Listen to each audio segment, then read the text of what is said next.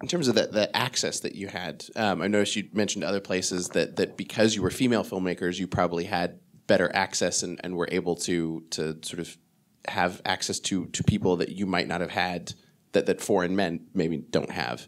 I do want to talk a little bit more about that and, and advantages you might have had in that area.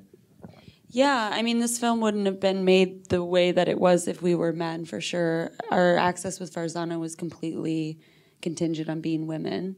At the same time, we're foreign women, so you know that can't be overlooked. That we were in some situations. Um, it was like we got a pass for hanging out with the guys because we were foreign women, not Afghan women. So we had this kind of special third gender access because of because of being foreign women. Um, but I do think that like the uh, the I don't know Farzana is trying to change that in Afghanistan, obviously by as you saw at the end of the film, she's training new photojournalists, and I do think that speaking back to the progress that we did see. A lot more women were, were being journalists and being in media, even between the years that we were there.